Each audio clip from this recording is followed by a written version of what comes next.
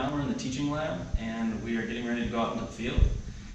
Uh, we're taking an instrument with us today called the CTD, which stands for Conductivity, Temperature, and Depth.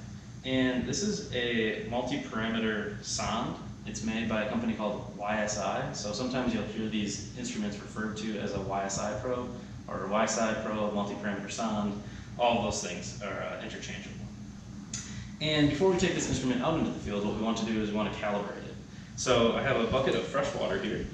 And what we'll do is we'll turn the instrument on and we'll put the sonde uh, into the water and make sure that all the probes are working correctly. And so in order to do this, you have to take off the protective covering which covers the uh, different um, instruments on the bottom of the sonde. So in order to do this, you want to be very, very careful because there's sensitive membranes on the bottom of the instruments that protect, uh, protect the instruments and allow them to make accurate readings. And so for storage purposes, there's always a little bit of water, residual water left inside of this protective covering. And that's to keep the membranes moist and make sure that they're working properly. And so for this specific sonde, you'll notice that there's three instruments on the bottom of it. This tall one that has uh, the ring around it right here is going to be the dissolved oxygen probe. And if you ever use one of these in the future, you'll know that you have to replace these membranes sometimes and that they're very sensitive and they're easy to rip. Um, so when you're taking the cover on and off, you want to make sure not to disrupt that, otherwise it can rip. This probe here is the temperature and um, conductivity probe. And of course, temperature is self-explanatory. Conductivity is going to measure um, the specific conductance of how many ions are actually in the water. And this last probe is the pH probe. So you can buy more expensive probes that have different uh, instruments on them and can give you all sorts of different water quality parameters. It just depends on um, your needs for the study that you're doing. So this is the actual infield um, cover that goes over the probes. It has holes in it, unlike the other one. This just allows water to come back through and actually hit the sensors to give you your measurements. So if you don't have this one on, uh, you won't actually get any measurements. So I'm just going to put this on really slowly as to not disrupt that membrane like I mentioned earlier. Screw it on, make sure it's nice and tight, and then you can put it in the fresh water. Now what this does is this gives us a baseline for our, um, for our sensors so that we know when we're in the field uh, what baseline to measure against. So if it's fresh water, it's going to have a really neutral pH, it's going to have uh, no salinity, it's going to have room temperature, uh, temperature. So in order to make sure that this works correctly, this calibration step, we're also going to um, bubble the water and saturate it with oxygen. And this is important for making sure the dissolved oxygen is measuring the baseline, which should be 100% oxygen saturation.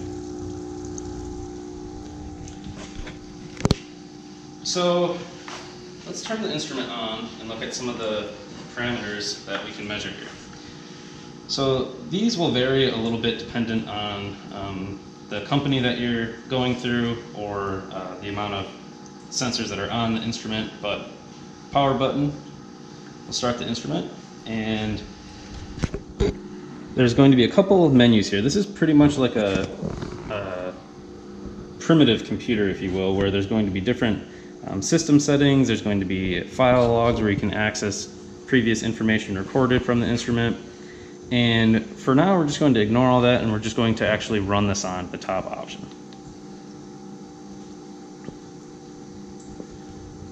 It will stabilize and then produce a screen that shows all of our different parameters that we can actually get from this instrument. The first thing here it's showing is the time and the date. It's showing our ambient temperature right around 23 and a half degrees centigrade. Next value is going to be our specific conductance, and that's measured in microsiemens per centimeter cubed, I believe.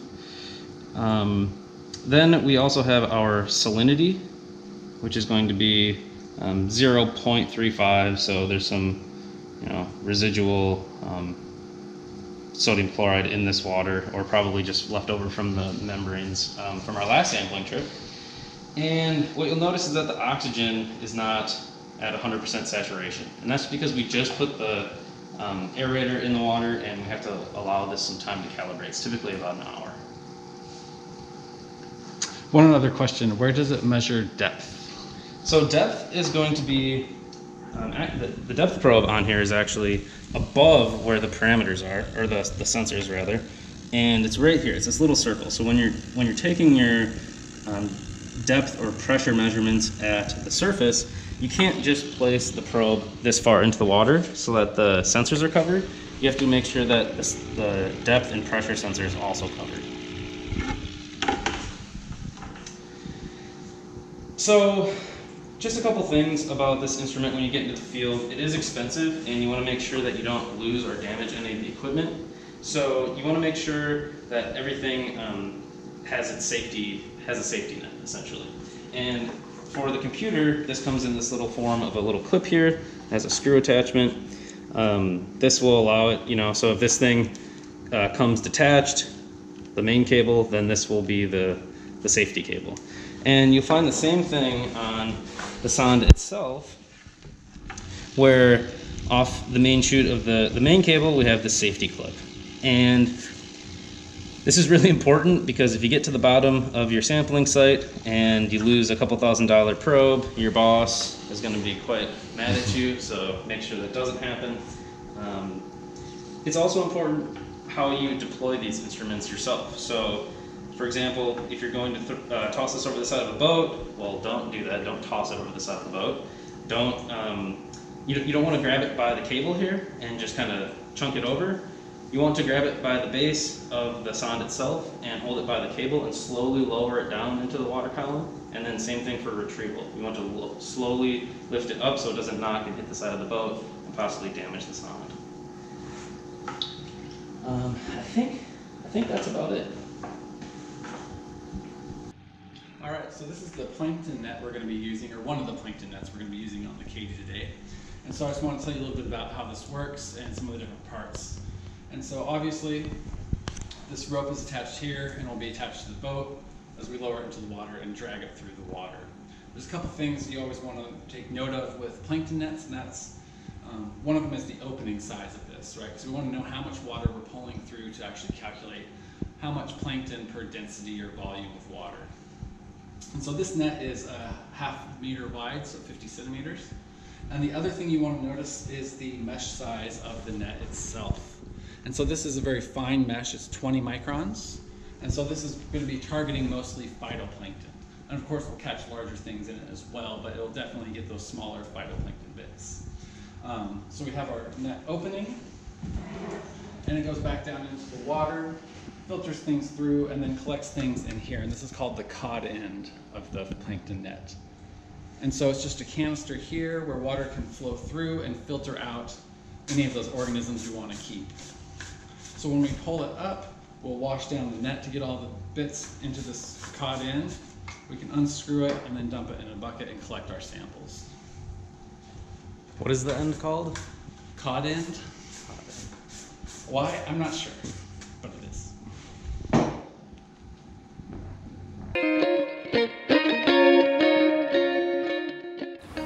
Guys, I think we're about ready to go, but I like to go through every step of our procedures before we actually head out and make sure we have all our equipment, right? Okay. So what we're gonna do, first thing is we're going out to the channel, right? And we're gonna do a sonde, a CTD cast. So we have the sonde, right, Hunter? Okay, and then you, you checked the batteries on that? I did. yes. Okay. And you calibrated it? Correct. Calibrated in the lab. Perfect. We're ready. So we're going to do a sonde cast with a CTD measurement of the channel. And then what are we going to do after that? We're going to do a Secchi, right? Do we have the Secchi? Yes, we do. All right. Perfect. And then we're going to do our two plankton tows.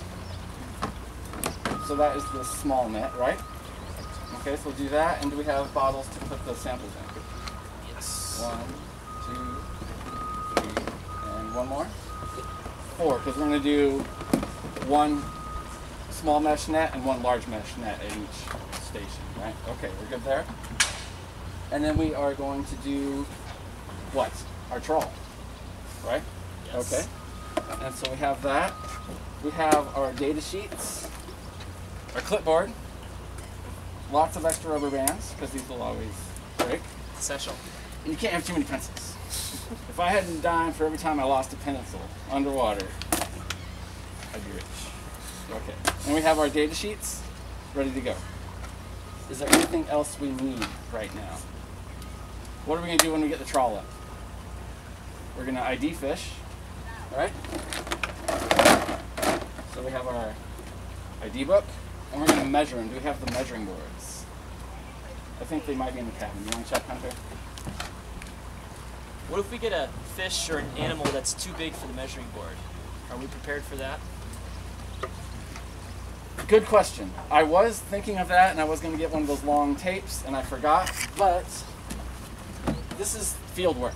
We do have this Secchi line that actually has measurements on it for measuring the depth, and we can use that to measure the fish. Awesome. This is a prime example of how you roll with punches when you're doing field work. okay, so I think we have all our equipment, right? We have everything we need to take data down.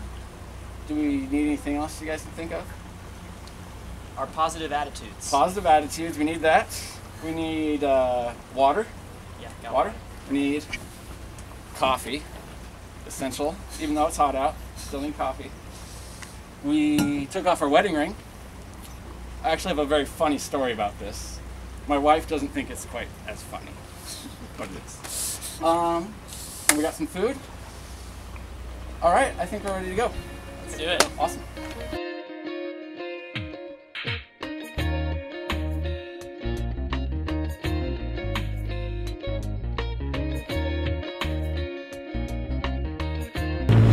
So we are at our first sampling location. We are here in the Corpus Christi shipping channel. We're gonna get our water quality data and we're gonna sample for plankton. Now, you guys are gonna be putting in your sonde and your Secchi discs um, to get that water quality data. But before you put anything in the water, you need to get permission from Captain Chad just so he knows what you're doing. So make sure you get his attention, give a thumbs up. If he returns that thumbs up, you can go ahead and put that piece of equipment in the water. Any questions before we get started? Good. All right.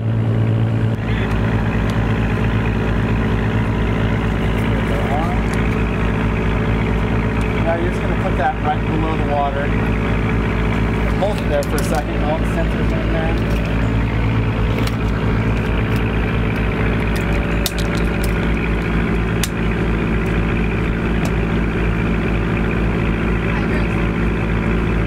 And we're gonna let everything equalize first.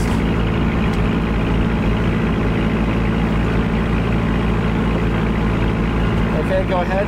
Let it down to the bottom.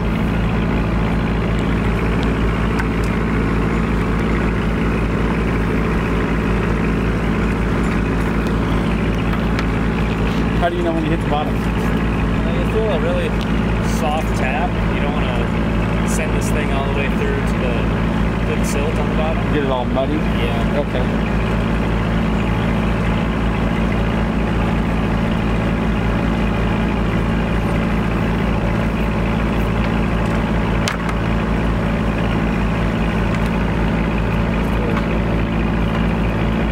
These are about 11 meters right now.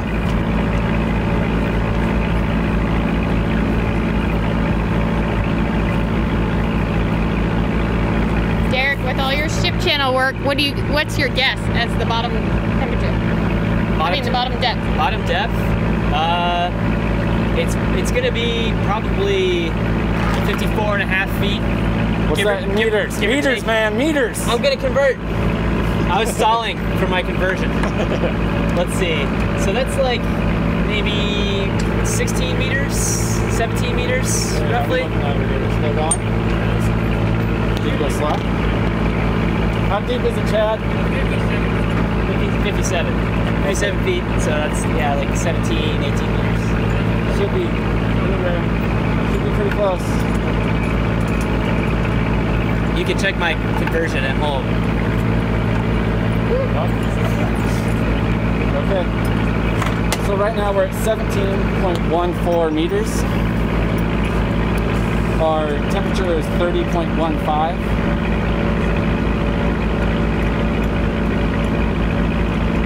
Salinity is 22.58. Our DO is 100%. Seems high. Our pH is 7.52. Are they going to line up? Let me see You it, want to Derek. get a shot of the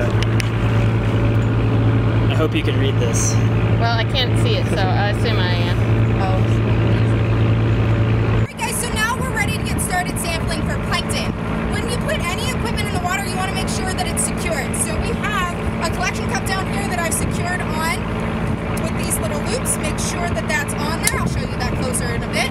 And then I've also secured it to the boat with this cable. And I always double check before it goes in the water. You'll do the same with your small plankton tow. We're going to tie that off to a cleat and make sure that it is completely secure before we put it in the water. Now, just like when you were putting in your water quality data, we need to get permission from Chad before putting stuff in the water. So I've already communicated with him that we're we are ready to sample for plankton, so he knows we're going to start putting those nets in the water. Any questions? Have you ever gotten something bigger than plankton with a plankton net? Well, that's kind of a misleading question because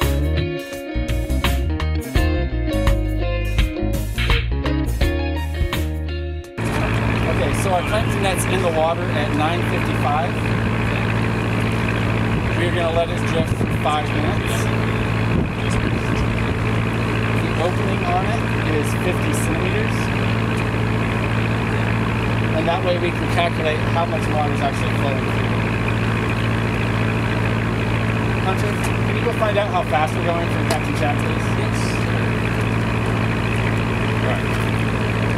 Now we'll do our smaller plankton. Uh, Dance with Bentley's. Okay, so to start off, we got to tie off our net first before we put it in the water. So I'm going to tie it on this cleat here. Okay, it's locked. We go ahead and lower it in the water.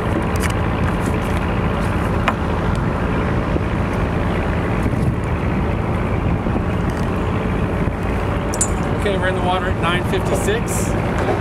We're gonna let this drift for two minutes.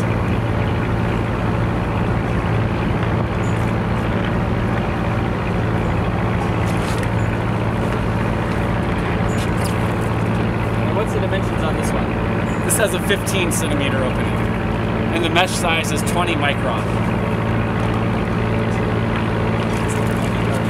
And how fast were we going again? 3.3 knots.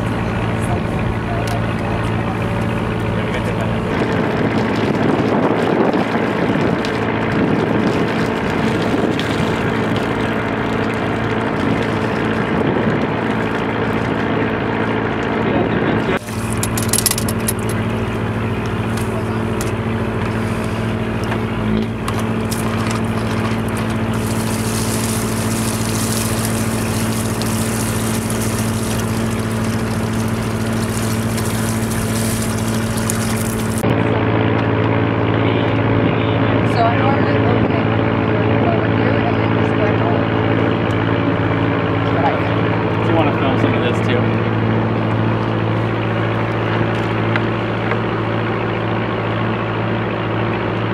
So we have our net and it actually filled up more than our bottle can hold. So I'm just going to empty it into this bucket so we can contain it.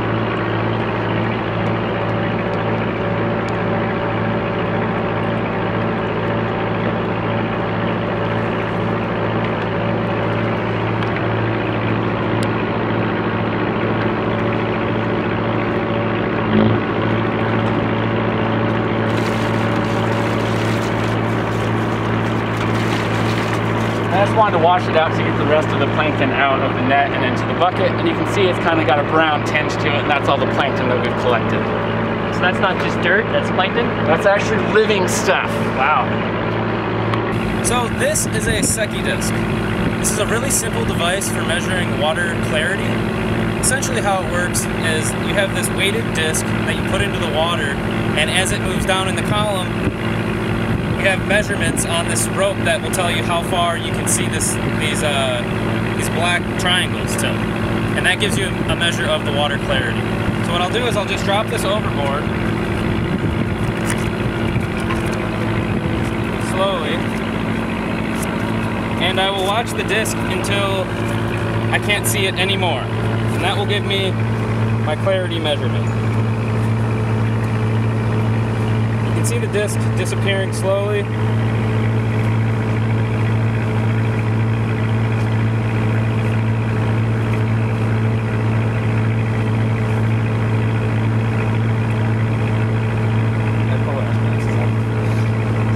Okay, so we'll just say take it from the water surface, right? From where? So how how would I do it? So I'm watching. It looks like that. It's the, the, the notch right above the. the like,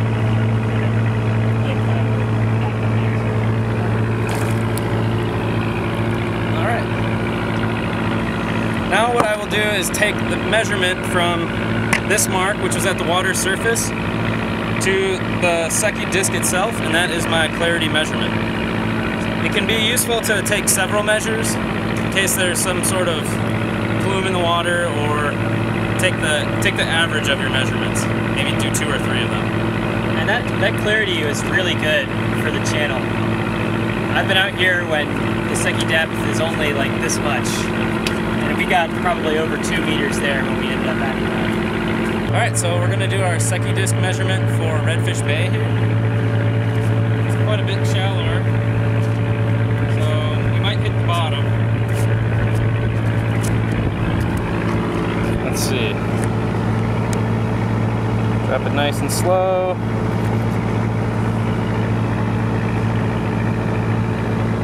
That's about it right there. Got got the measurement, Derek? 1.1 meters. All right. All right, so we're here with Captain Chad in the what do you call this? Call it the wheelhouse. Wheelhouse. All right.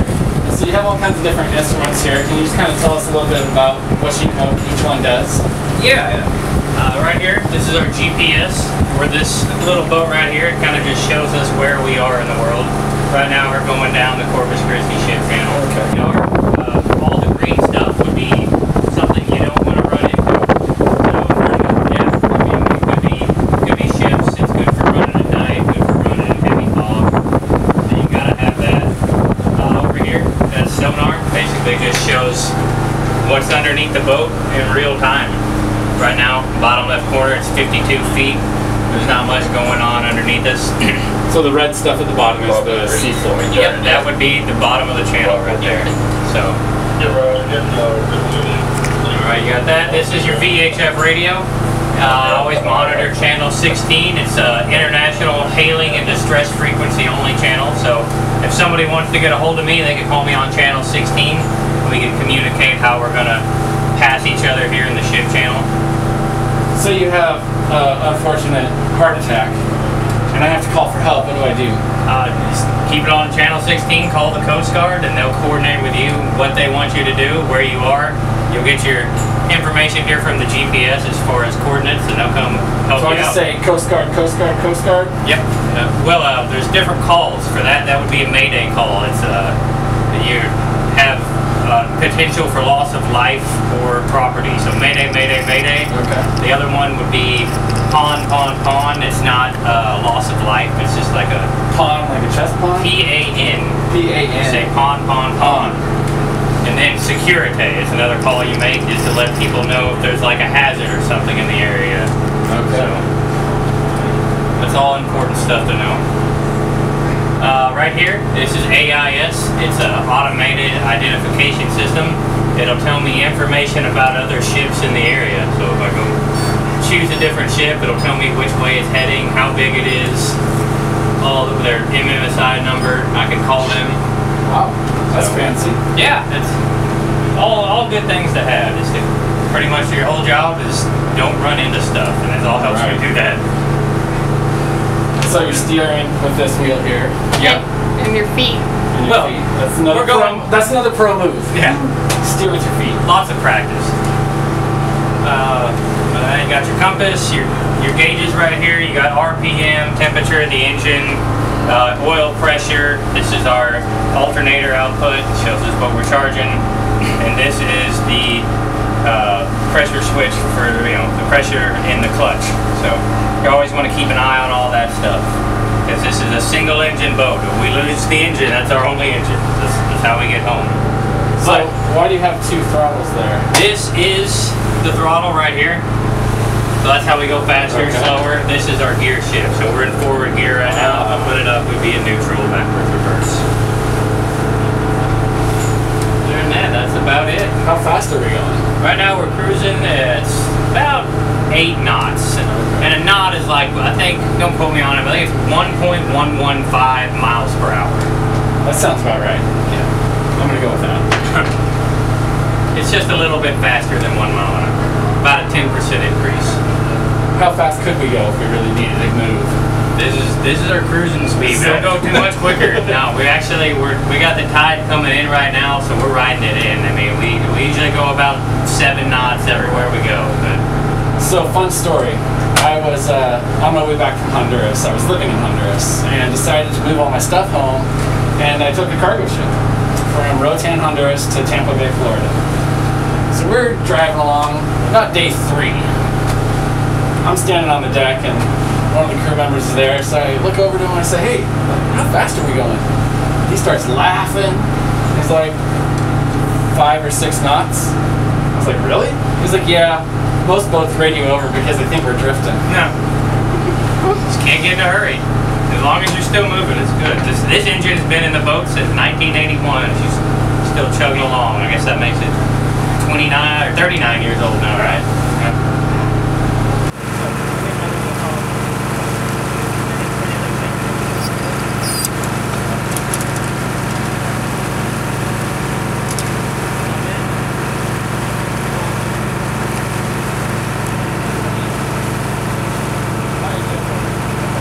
have my life jacket on right now because our safety gate is down for us to be able to deploy this piece of equipment. Also, this piece of equipment comes dangerously close to my face whenever the boat starts rocking. So in the event that it does hit me, I want to be able to have this life jacket on if I fall in. So this piece of equipment is called a Petersen mud grab. And if you look at it, it looks kind of like a giant claw machine. So when I lift up on it, it will close. But it needs to be open when it hits the bottom to get our sediment sample. So this piece right here goes in that notch over there. And when I put that in and lift up on it, it stays open. As soon as it hits the bottom, that notch rolls out, it closes, and now we can collect our sample.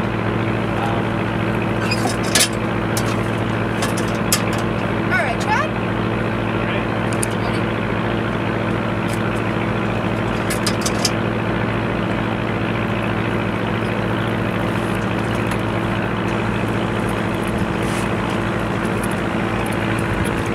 So, if you notice, when In the water, I push it away from the boat so that it doesn't hit the boat, doesn't damage the boat or the equipment, Or you. or me. Or you. Or me. We're washing the sediment sample from the bucket dredge into these uh, mesh sieves. And then we can sort through our benthic organisms. If you don't have the running water on this sediment, it'll get really clumpy and won't go through the sieve. That's why I'm constantly washing it into the into the mesh. And what sort of animals do you think that you'll find? Well, I've already seen some different types of worms in here. Maybe some shelled organisms. Um, maybe a starfish if we're lucky. Yeah.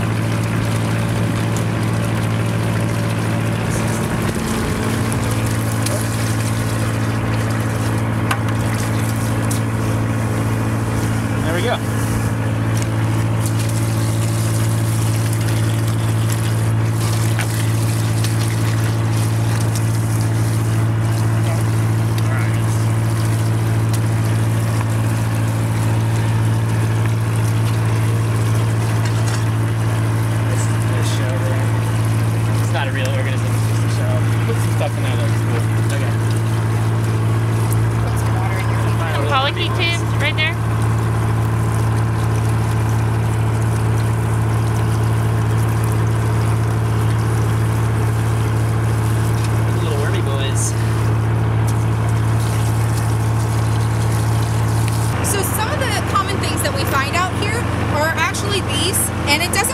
living organism at all. Uh, but it's actually a tube built by a worm called a tube building worm.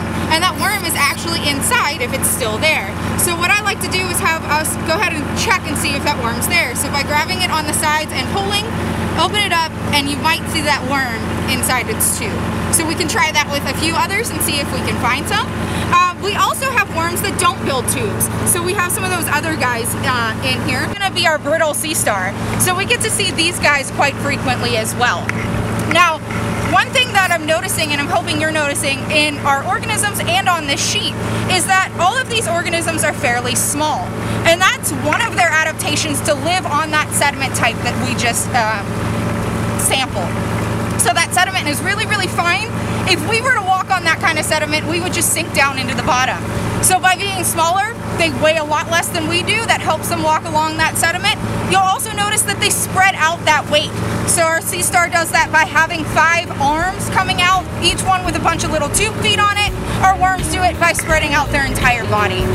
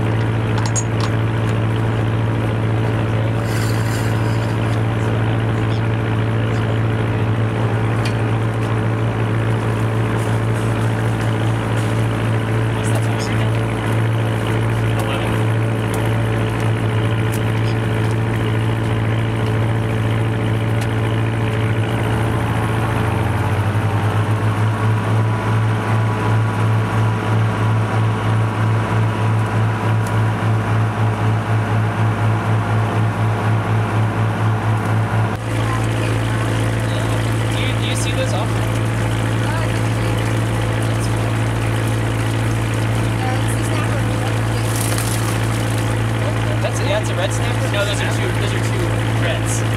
Two small reds. No, the the juvenile reds have the spot. They're so red. Yeah. I didn't realize they got red red. Yeah. Hey. We got some fish, huh? Oh, look at that. Yeah, bluefish. Um, yeah, I think it's I think it's a big fish. Big fish. Big squid. As well. Nice haul. squid. squid. Moonfish is like a flat bumper. It's all bumper guns. It's all rusted. Yeah.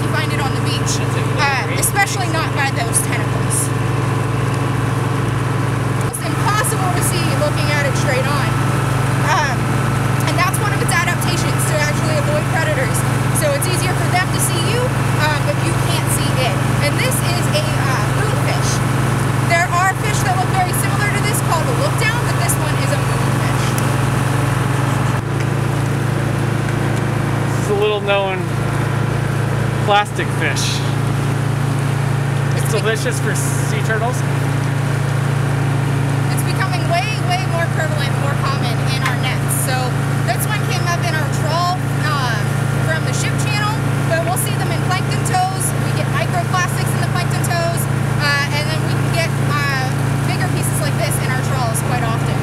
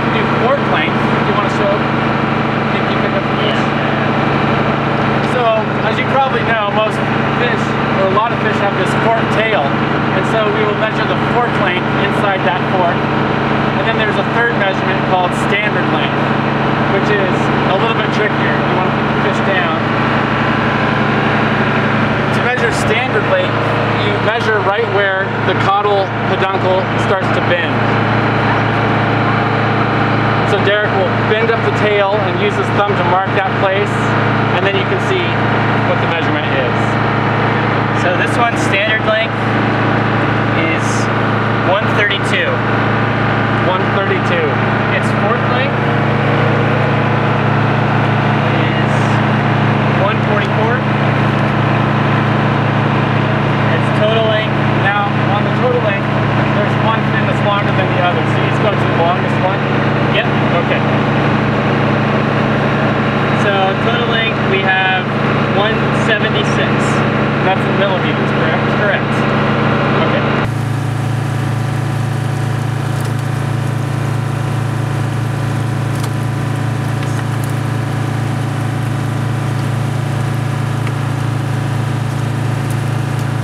All right. So this is our red snapper right here. It's one of the most popularly fished species in the Gulf of Mexico. Uh, really important food fish, really delicious. This guy's a little juvenile right here. You typically find him way offshore, the big adults and stuff, but the juveniles tend to see, inhabit uh, low relief, rocky habitat uh, closer to shore. How far offshore do you usually see them? Oh, you'll see them anywhere from like 10 miles to 200 miles offshore, especially on oil rigs. Respect the fish, Derek. Respect the fish. You landed, Respect the fish. landed right in the measuring board for me. So I'll just uh, demonstrate again the different ways measure uh, length on the fish. Let's see if I can this from here. So, so we want to make sure the nose of the fish is touching right up against the end of the board right here, so we get an accurate measurement. And for the total length, we go ahead and pinch the tail onto the board. As, and you want it to go as far as it can go. So for this red snapper, looks like the total length is 269. What unit is that? It's in millimeters. Now we do the fork length. The red snapper doesn't really have a pronounced fork, but nonetheless, we spread the tail out, the caudal fin, if you will, and uh, we see that the fork length is 251. For standard length, pinching the tail and we're looking for that last vertebra, so you can get your thumb and feel a sort of crease right in there. It's a lot easier on the red snapper than it is on other fish that are smaller.